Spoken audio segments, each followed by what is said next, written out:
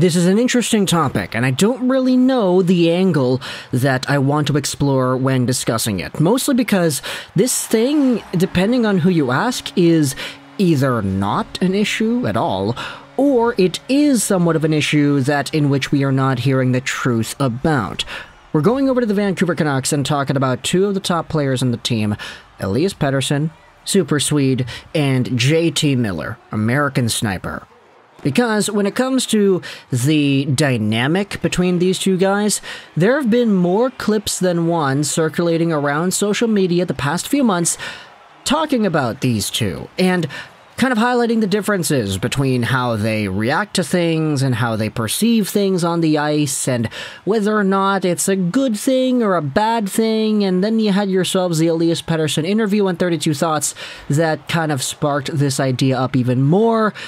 It's weird, and that's why I said this video topic is weird. I don't really know the proper way to go about this, but let's just start out by going over both of these guys, what they've done so far in the season, and their demeanors out there on the ice. Because right now, we had ourselves the Canucks leadership post the Twitter thing where they talked about who's going to be on their leadership crew now that Captain Bo Horvat is gone.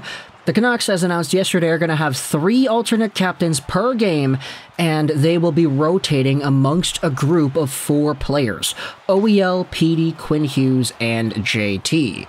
You could talk about how, hey, Tanner Pearson's not there. Hey, Tyler Myers not there. That's okay. But PD and Miller are indeed there. And when it comes to the leadership styles or the leadership qualities that both of these guys bring to the ice, you can definitely see the difference. Now, before we go over to that, let's just look at points first and foremost, introduce the topic pretty fluidly over here. JT Miller this season has 45 points in 50 games played. Now, that's a number that a lot of Canucks fans would say is pretty disappointing considering the contract and how Miller was producing at 99 points last year, but honestly, I mean, look, 45 Divi 50 multiplied out by 82. That is not a terrible number. He's on pace for 73 points at the very least. A guy making $8 million getting 70 points is not the end of the world. And I do think it's kind of interesting how Miller has performed in somewhat of a disappointing capacity while still being able to produce the amount of numbers that he has been.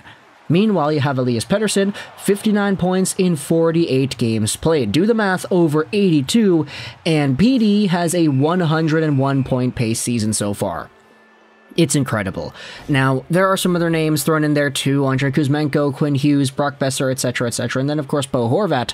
But for right now, Elias Pettersson is the better point producer than JT. And you would also find that on the ice, just in terms of how these guys are playing, PD's playing a lot better just in general. I mean, there was a Twitter post here made by Mike Kelly, who works with the NHL Network, and he did his mid-season awards just two days ago. He said that Pettersson would be the first runner-up for the Selke behind Patrice Bergeron, which is pretty good, if I do say so myself. Miller, on the other hand, does not play well defensively. We know his back checking is lazy. We know his in defensive zone pressure is non existent. He just stands there, especially on the penalty kill. You saw that yesterday against the New Jersey Devils.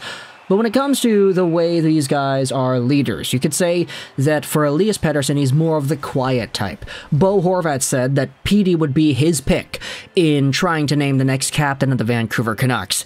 PD is a determined individual. He goes out there and he tries to win.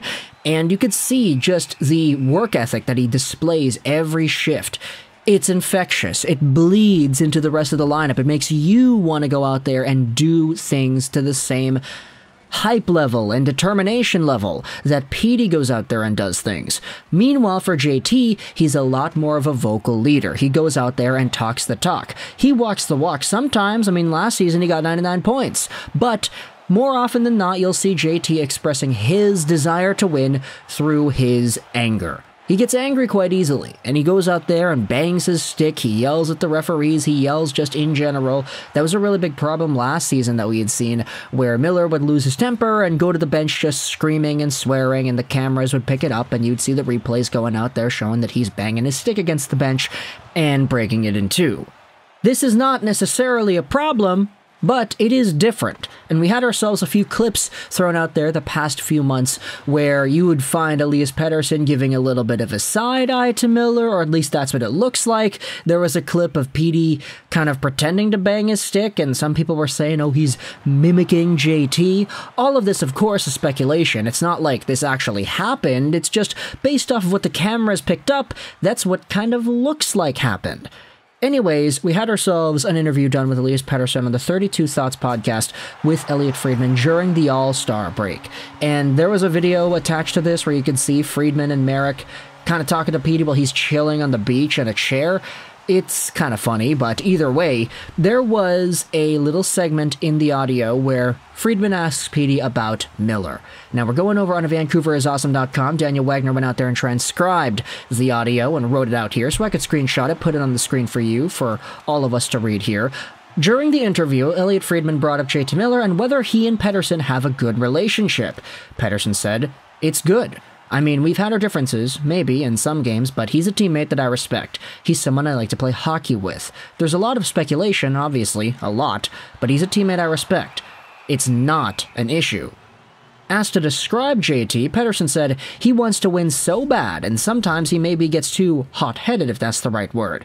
He cares a lot and just wants to win. Now, I read that little snippet in I'm just going to admit it, a pretty good way. I think I did a good job when reading that. But if you listen to the audio itself, Pettersson's description of JT definitely is not as fluid and straightforward as that. There are a lot of pauses, and he sort of sounds a bit hesitant when going out there and saying the things that he says. Now, verbatim, just word for word, it's a pretty good answer. Saying, no, not an issue. Sure, he gets hot headed, but he's a teammate I respect. I like playing with him. It's not an issue. But when you listen to the interview, there are a lot of people on Canucks Twitter, for example, going out there and saying, come on, you can't actually believe what he's saying. Like, listen to how he's saying it. He doesn't sound convinced himself that that's the case. Now, I'm not going to go out there and say specifically that it's a lie or just facetious, putting on a front for the media, whatever, but like, you know, this is sort of what you have to do if you're going to be captain in training sort of material. You saw Bo Horvat, he was always a great talker to the media. You never got a headline out of Bo, and that was probably the best part about him being the captain of the Vancouver Canucks because even though there was so much turmoil, so much crap going on with this team over the years, you never got yourselves a Bo Horvat quote that turned it into a bigger deal. He always was the most vanilla, just straightforward, no BS type of answers. You say what you need to hear type of guy out there. And for Elias Pettersson, we all kind of remember when he came into the league, there was a lot of personality shown in there through his interviews. The death stare, the blunt answers, and everything. Sure, there's media training done by the Vancouver Canucks, there's media training done by every NHL team. And that sort of took away a lot of the flair that Elias Pettersson had in these interviews, but it sort of smoothed him out into becoming a more leadership type, Bo Horvat answering type of guy. Now, Petey doesn't have that talent naturally, so you could definitely see that there's a lot more processing in his mind that goes through whenever he does have a question to answer that's a little difficult, like, hey, is your relationship with JT good? Like, he has a lot of pauses in that answer, so I could definitely understand both points of views, like Miller going out there and doing all the things that he's been doing, Petey responding maybe a little bit scoffishly at it. You could see some clips out there where he kind of gives a bit of a side eye when Miller's having a tantrum on the bench, but at the end of the day, none of that stuff is really confirmed, you know? You can never say the PD is for sure doing that because maybe he's looking at something else. Who really knows? There's always the benefit of the doubt.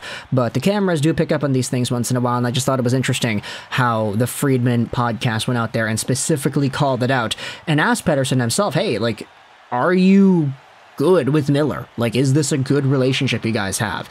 At the end of the day, though, despite what you want to believe, Pettersson did say it was good, and therefore I feel like that's all we can really do. Take this at face value and move on. So, let me know your thoughts in the comment section below about the JT Miller question to PD on 32 Thoughts. Do you think it's a big deal the way PD answered it, or do you think we should be just focusing on the words instead?